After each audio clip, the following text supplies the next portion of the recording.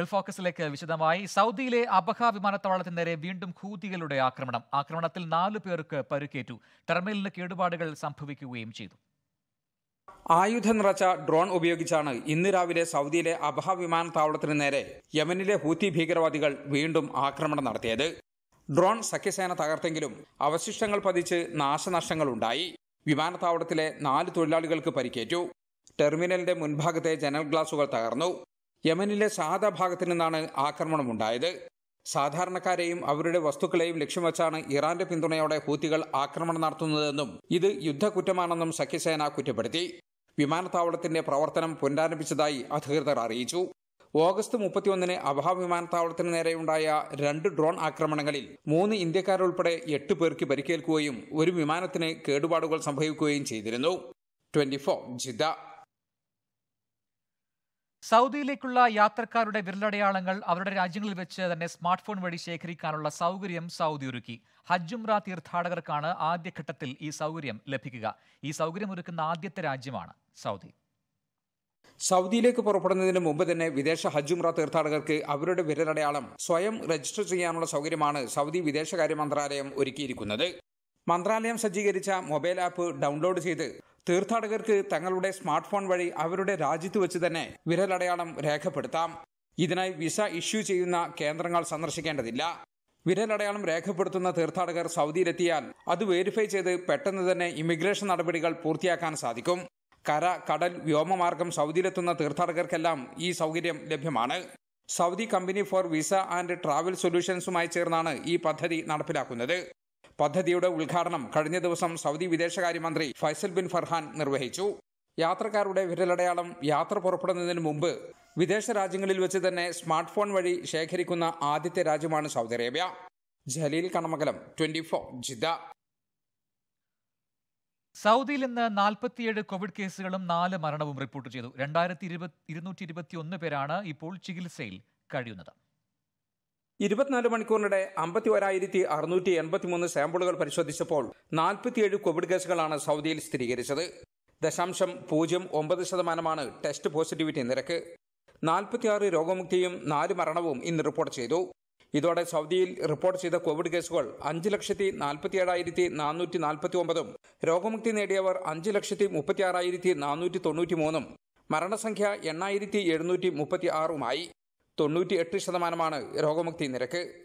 രണ്ടായിരത്തി ഇരുന്നൂറ്റി ഇരുപത്തിയൊന്ന് പേരാണ് ഇപ്പോൾ ചികിത്സയിലുള്ളത്. ഇതിൽ നൂറ്റി നാൽപ്പത്തിയേഴ് പേർ തീവ്രപരിചരണ വിഭാഗത്തിലാണ്. റിയാദിൽ പതിനാലും ജിദ്ദയിൽ ആറും മക്കയിൽ മൂന്നും മദീനയിൽ ഒന്നും കോവിഡ് കേസുകൾ ഇന്ന് റിപ്പോർട്ട് ചെയ്തു. ദമാമിൽ ഒരു കോവിഡ് കേസ് പോലും ഇന്ന് റിപ്പോർട്ട് ചെയ്തിട്ടില്ല. നാല് കോടി മുപ്പത് ലക്ഷത്തി ഏഴായിരത്തോളം ഡോസ് വാക്സിൻ സൗദിയിൽ ഇതുവരെ വിതരണം ചെയ്തു. ഒരു കോടി തൊണ്ണൂറ്റിനാല് ലക്ഷത്തി ഇരുപത്തിയേഴായിരത്തി അഞ്ഞൂറോളം പേർ വാക്സിന്റെ രണ്ട് ഡോസുകളും സ്വീകരിച്ചു. ട്വന്റി ഫോർ ജിത കോവിഡ് പ്രോട്ടോകോൾ ലംഘനം നടത്തിയ സൗദിയിലെ യാംബു മുനിസിപ്പാലിറ്റി പരിധിയിൽപ്പെട്ട ഇരുന്നൂറ്റി അൻപത്തി മൂന്ന് പേർക്ക് പിഴ ചുമത്തിയതായി അധികൃതർ അറിയിച്ചു. മൂന്ന് ദിവസത്തിനുള്ളിൽ ഉള്ളിൽ റിപ്പോർട്ട് ചെയ്ത കേസുകളിലാണ് ഇത്രയും പേർക്ക് പിഴ ചുമത്തിയത്. കോവിഡ് പ്രോട്ടോകോൾ ലംഘനം നടത്തിയതിനെ തുടർന്ന് സൗദിയിലെ യാംബോ മുനിസിപ്പാലിറ്റി പരിധിയിൽപ്പെട്ട ഇരുന്നൂറ്റി അൻപത്തിമൂന്ന് പേർക്ക് പിഴ ചുമത്തിയതായാണ് അധികൃതർ വ്യക്തമാക്കിയത്. മൂന്ന് ദിവസത്തിനുള്ളിൽ റിപ്പോർട്ട് ചെയ്ത കേസുകളിലാണ് ഇത്രയും പേർക്ക് പിഴ ചുമത്തിയത്. മാസ്ക് ധരിക്കാത്തതിന് ഇരുന്നൂറ്റി മുപ്പത്തിയെട്ട് പേർക്കും സാമൂഹിക അകലം പാലിക്കാത്തതിന് പതിനഞ്ച് പേർക്കുമാണ് സുരക്ഷാ വിഭാഗം ഉദ്യോഗസ്ഥർ പിഴ ചുമത്തിയത്. ആരോഗ്യ സുരക്ഷാ നിയമങ്ങൾ പാലിക്കുന്നത് നിരീക്ഷിക്കാൻ വിവിധ വിഭാഗങ്ങൾ എപ്പോഴും രംഗത്തുണ്ടാവുമെന്നും കോവിഡ് വ്യാപനം കുറയ്ക്കാൻ ജാഗ്രത അനിവാര്യമാണെന്നും യാംബു ഗവർണറേറ്റ് അധികൃതർ അറിയിച്ചു. കൃത്യമായി മാസ്ക് ധരിക്കാതിരിക്കുന്നതും സാമൂഹിക അകലം പാലിക്കാതെ പൊതുസ്ഥലങ്ങളിൽ ഇടപഴകുന്നതും പിഴ ചുമത്തുന്ന കുറ്റമാണ്. മുനിസിപ്പാലിറ്റി ഉദ്യോഗസ്ഥർ പോലീസ് വിഭാഗങ്ങൾ വാണിജ്യ ആരോഗ്യ വിഭാഗങ്ങളിലെ ഉദ്യോഗസ്ഥർ അടങ്ങിയ സംയുക്ത വിഭാഗമാണ് കോവിഡ് പ്രോട്ടോകോൾ നിരീക്ഷിക്കാൻ രംഗത്തുള്ളത്.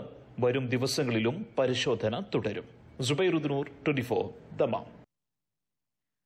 കുവൈറ്റിൽ പ്രവാസികൾക്കുള്ള ഡ്രൈവിംഗ് ലൈസൻസ് നൽകുന്നത് നിർത്തലാക്കുന്നത് സംബന്ധിച്ച് ആഭ്യന്തര മന്ത്രാലയം under secretary lieutenant general Sheikh Faisal Al Nawaf traffic വകുപ്പിലെ ഉന്നത ഉദ്യോഗസ്ഥരുമായി ചർച്ച ചെയ്തു. റോഡുകളിലെ വാഹനങ്ങളുടെ എണ്ണം കുറയ്ക്കാനും തിരക്ക് കുറയ്ക്കാനും മറ്റുമായി പ്രവാസികൾക്ക് ഡ്രൈവിംഗ് ലൈസൻസ് നൽകുന്നത് നിർത്താനുള്ള നിർദ്ദേശത്തിന്റെ ഗുണദോഷ വശങ്ങളെപ്പറ്റിയും ഉദ്യോഗസ്ഥർ ചർച്ച ചെയ്തു. ഇത് സംബന്ധിച്ച് കൂടുതൽ പഠനങ്ങൾ നടത്താനും ഡ്രൈവിംഗ് ലൈസൻസ് നൽകുന്നതിനുള്ള ഒരു പുതിയ സംവിധാനം വികസിപ്പിക്കാനും അണ്ടർ സെക്രട്ടറി ഉദ്യോഗസ്ഥർക്ക് നിർദ്ദേശം നൽകിയതായും അധികൃതർ അറിയിച്ചു. യു എയിൽ കോവിഡ് ബാധിതരുടെ എണ്ണം പതിനെട്ട് മാസത്തിനിടയിലെ ഏറ്റവും കുറഞ്ഞ നിലയിൽ ഇന്ന് നൂറ്റി നാൽപ്പത്തിനാല് പേർക്കാണ് കോവിഡ് സ്ഥിരീകരിച്ചത്. അതിനിടെ അബുദാബിയിലെ സ്കൂളുകളിൽ നേരിട്ടെത്തുന്ന വാക്സിൻ എടുക്കാത്ത പന്ത്രണ്ട് വയസ്സിന് മുകളിലുള്ള വിദ്യാർത്ഥികൾക്ക് ആഴ്ചയിൽ ഒരിക്കൽ പി ടെസ്റ്റ് നിർബന്ധമാക്കിയതായി അധികൃതർ അറിയിച്ചു.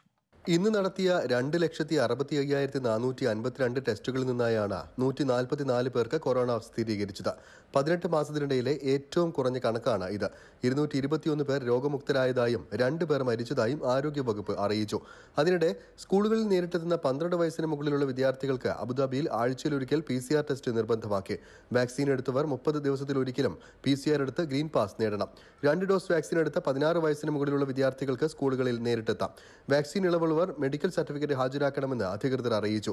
അതേസമയം വിദ്യാർത്ഥികളുടെ ശരീര ഊഷ്മാവ് പരിശോധിക്കുന്നതിന് സ്കൂളുകളിൽ സംവിധാനം ഏർപ്പെടുത്തിയിട്ടില്ല എങ്കിൽ സ്കൂളുകൾക്ക് രണ്ട് ദശാംശം അഞ്ച് ലക്ഷം ദീർഘം വരെ പിഴ ചുമത്തുമെന്നും മുന്നറിയിപ്പുണ്ട്. Twenty Dubai. Indian People's Forum U A business conclave സംഘടിപ്പിച്ചു. ദുബായിൽ നടന്ന പരിപാടി കേന്ദ്ര വാണിജ്യമന്ത്രി പീയൂഷ് ഗോയൽ ഉദ്ഘാടനം ചെയ്തു. H D F C chairman Deepak Parekh Hinduja group chairman Prakash Hinduja തുടങ്ങിയവർ പരിപാടിയിൽ പങ്കെടുത്ത് സംസാരിച്ചു. World expo two thousand twenty ദുബായിൽ നടക്കുന്ന സാഹചര്യത്തിൽ Aatmanirbhar Bharat M S M E എന്നിവയുടെ വളർച്ച എന്നിവയെ പിന്തുണയ്ക്കുന്നതിന്റെ ഭാഗമായിട്ടായിരുന്നു കോൺക്ലേവ്. ബിസിനസ് സമൂഹത്തെ പിന്തുണയ്ക്കുന്നതിനായുള്ള ഇന്ത്യയുടെ ശ്രമങ്ങൾ പീയൂഷ് ഗോയൽ ചൂണ്ടിക്കാട്ടി. ഇന്ത്യയിൽ നിക്ഷേപം നടത്താൻ അദ്ദേഹം പ്രവാസികളെ ക്ഷണിക്കുകയും ചെയ്തു.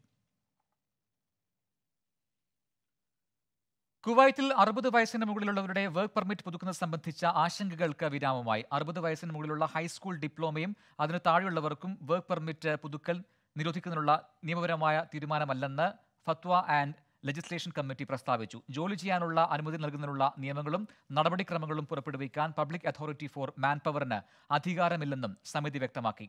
രണ്ടായിരത്തി ഇരുപത് ഓഗസ്റ്റിൽ മാൻ പവർ അതോറിറ്റി പുറപ്പെടുവിച്ച തീരുമാനം നിയമപരമായി നിലനിൽക്കുന്നതല്ലെന്നും അത്തരം തീരുമാനങ്ങൾ പുറപ്പെടുവിക്കാൻ അധികാരം മാൻ പവർ അതോറിറ്റിക്ക് ഇല്ലെന്നും ഫത്വ കമ്മിറ്റി പ്രസ്താവിച്ചു.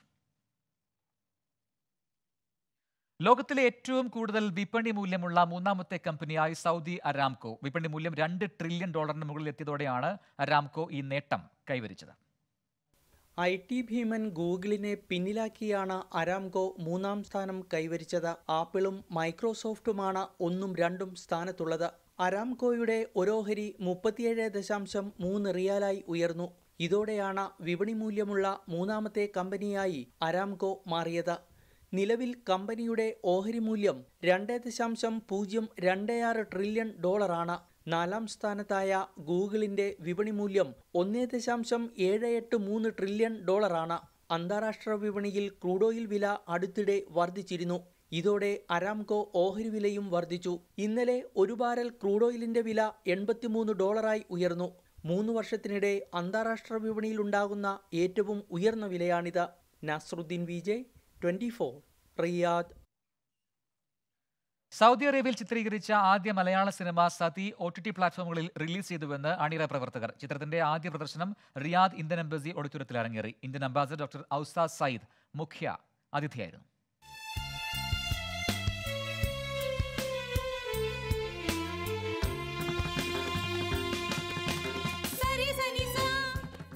സ്ത്രീകൾക്ക് നേരെയുണ്ടാകുന്ന പുരുഷാധിപത്യവും സ്ത്രീ ശാക്തീകരണവുമാണ് സതിയുടെ പ്രമേയം. സൗദിയിലെ സിനിമാ പ്രവർത്തകൻ റാബിയ അൽ നാസർ ഉൾപ്പെടെ പ്രമുഖരുടെ സാന്നിധ്യത്തിൽ ആദ്യ പ്രദർശനം നടന്നു. സിനിമയുടെ പ്രമേയം മുഴുവൻ സ്ത്രീകൾക്കും പ്രചോദനമാകുമെന്ന് അംബാസഡർ ഡോക്ടർ ഔസാഫ് സയ്യിദ് പറഞ്ഞു. സാമൂഹിക പ്രസക്തിയുള്ള ആശയം സിനിമയാക്കാൻ ധൈര്യം കാട്ടിയ അണിയറ പ്രവർത്തകരെ അദ്ദേഹം അഭിനന്ദിച്ചു.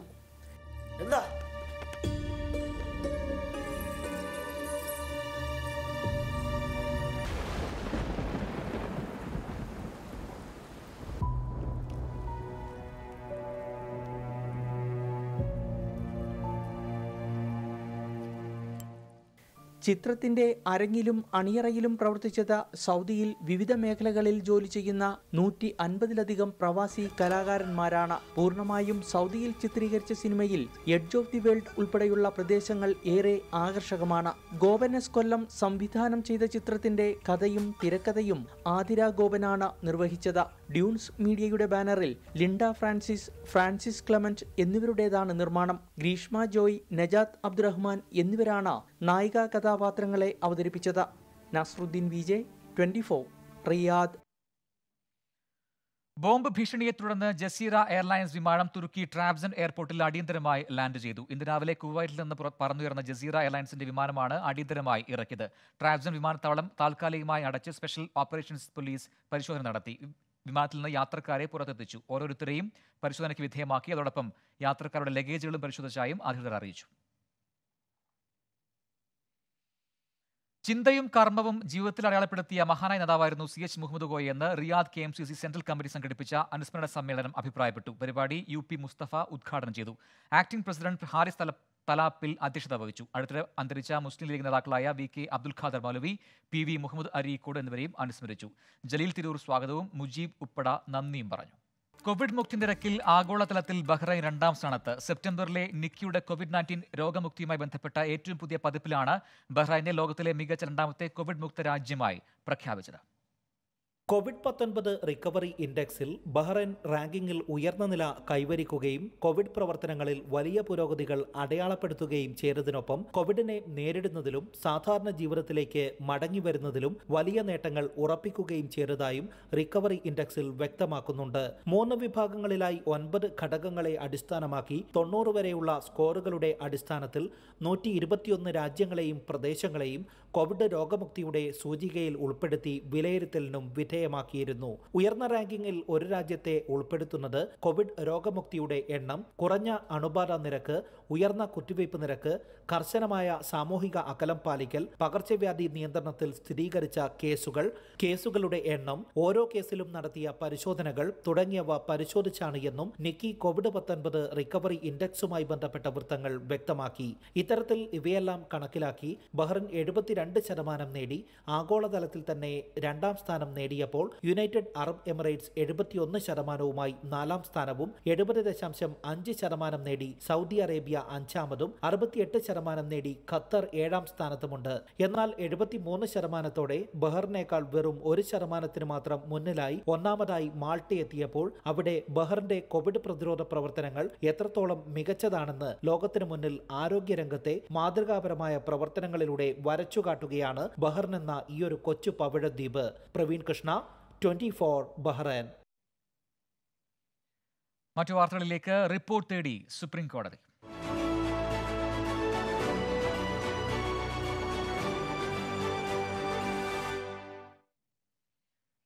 ലഖിംപൂരിൽ കർഷകർ കൊല്ലപ്പെട്ട സംഭവത്തിൽ ഉത്തർപ്രദേശ് സർക്കാരിനോട് തൽസ്ഥിതി റിപ്പോർട്ട് ആവശ്യപ്പെട്ട് സുപ്രീം കോടതി സ്വമേധയെടുത്ത കേസിൽ നാളെ തന്നെ റിപ്പോർട്ട് നൽകണമെന്നാണ് നിർദ്ദേശം. എന്നാൽ ലഖിംപൂർ ഖേയിലുണ്ടായത് നിർഭാഗ്യകരമായ സംഭവമാണെന്ന് ഉത്തർപ്രദേശ് സർക്കാർ കോടതി അറിയിച്ചു.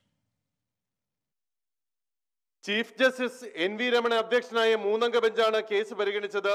സ്വമേധയെ എടുത്ത കേസിൽ ഉത്തർപ്രദേശ് സർക്കാർ സംഭവം നിർഭാഗ്യകരമാണെന്ന് വിശദീകരിച്ചു. വിപുലമായ അന്വേഷണമാണ് നടക്കുന്നത്. പോലീസ് അന്വേഷണത്തിനൊപ്പം ജുഡീഷ്യൽ അന്വേഷണവും പ്രഖ്യാപിച്ചിട്ടുണ്ട്. കുറ്റവാളികൾക്കെതിരെ ശക്തമായ നടപടി ഉണ്ടാകുമെന്നും ഉത്തർപ്രദേശ് സർക്കാർ കോടതിയിൽ വ്യക്തമാക്കി. സംഭവം നിർഭാഗ്യകരമാണെന്ന ഉത്തർപ്രദേശ് സർക്കാരിന്റെ അഭിപ്രായം കോടതിയും പങ്കുവയ്ക്കുന്നതായി ചീഫ് ജസ്റ്റിസ് പറഞ്ഞു. പക്ഷേ അതുകൊണ്ട് കാര്യമില്ല.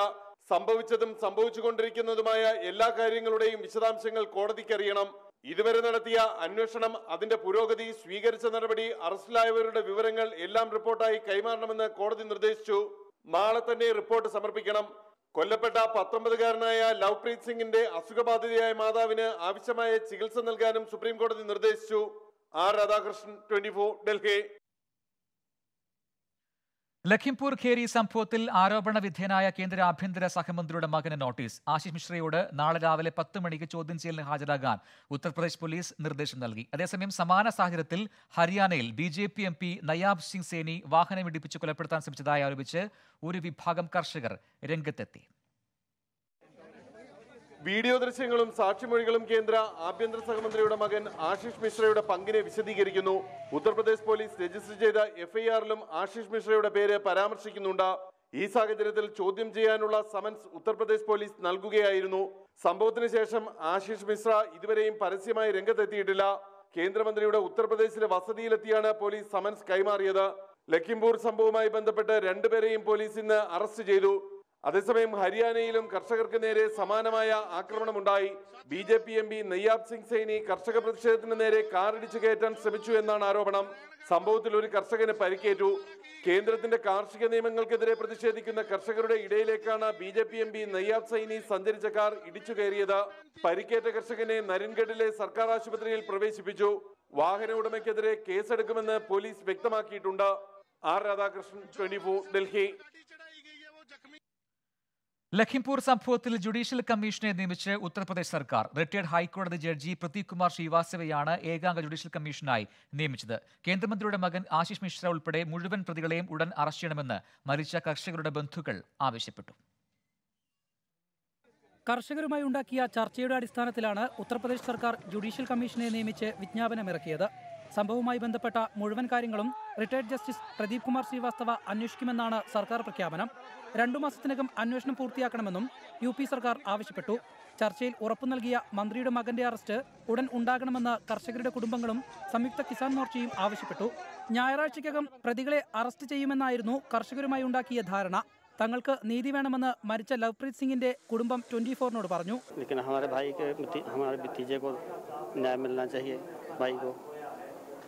उसको कड़ी से कड़ी सजा मिलनी चाहिए तो दोषी को गिरफ्तार नहीं किया गया अभी तक जल्दी से जल्दी गिरफ्तार होना चाहिए दोषी अभी फरार घूम रहा है കേന്ദ്ര ആഭ്യന്തര സഹമന്ത്രി അജയ് മിശ്ര രാജിവെക്കില്ലെന്നാണ് സൂചന ആശിഷ് മിശ്ര സംഭവസ്ഥലത്തുണ്ടായിരുന്നില്ലെന്ന വാദം അമിത്ഷായോടും അജയ് മിശ്ര ആവർത്തിച്ചു എന്നാൽ കർഷകർക്ക് നീതി ലഭിക്കുന്നതുവരെ പോരാട്ടം തുടരുമെന്ന് പ്രിയങ്ക ഗാന്ധി പറഞ്ഞു तीनों परिवारों ने एक ही चीज़ की कही हमें मुआवजा से कोई मतलब नहीं है हमें न्याय चाहिए म- मंत्री को बर्खास्त करना चाहिए और जिसने भी जिसने ये किया है जो भी अपराधी है उसको गिरफ्तार करना चाहिए ഇതിനിടെ കർഷകർക്കിടയിൽ പ്രശ്നങ്ങളുണ്ടെന്ന പ്രചാരണം തെറ്റാണെന്ന് സംയുക്ത കിസാൻ മോർച്ച പ്രതികരിച്ചു രാകേഷ് ടിക്കായത്തുമായി ഭിന്നതയുണ്ടെന്ന പ്രചാരണം ബോധപൂർവം ചിലർ നടത്തുകയാണെന്നും കർഷക നേതാക്കൾ പറഞ്ഞു ലങ്കിപ്പൂർ ഖേരിയിൽ നിന്ന് M P Pradeep Kumar twenty four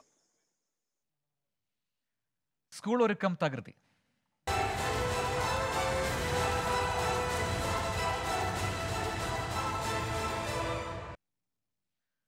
സംസ്ഥാനത്ത് പ്ലസ് വൺ പ്രവേശനത്തിലെ പരാതികൾ സപ്ലിമെന്ററി അലോട്ട്മെന്റിന് മുൻപ് പരിഹരിക്കുമെന്ന് വിദ്യാഭ്യാസ മന്ത്രി വി ശിവൻകുട്ടി നിയമസഭയിൽ പറഞ്ഞു.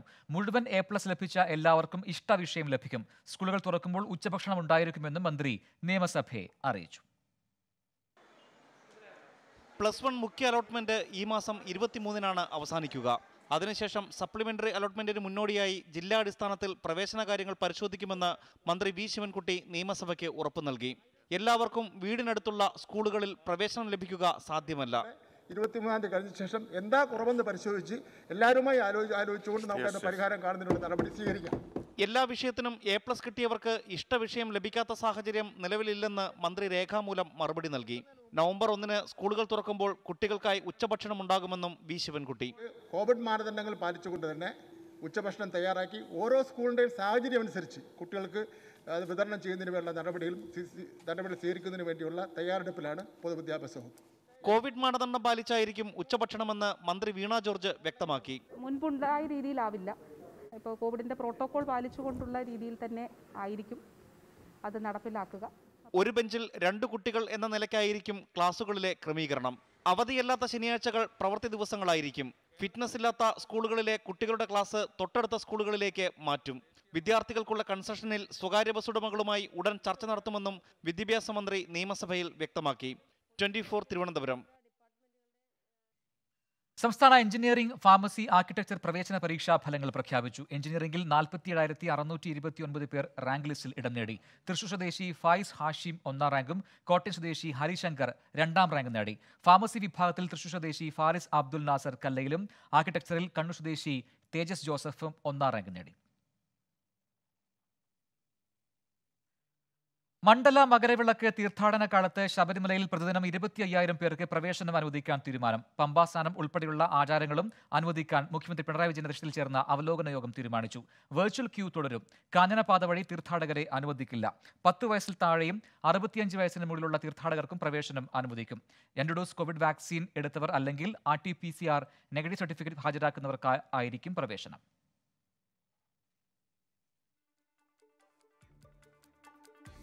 ഗൾഫ് ഫോക്കസ് പൂർത്തിയാവുന്നു. നമസ്കാരം.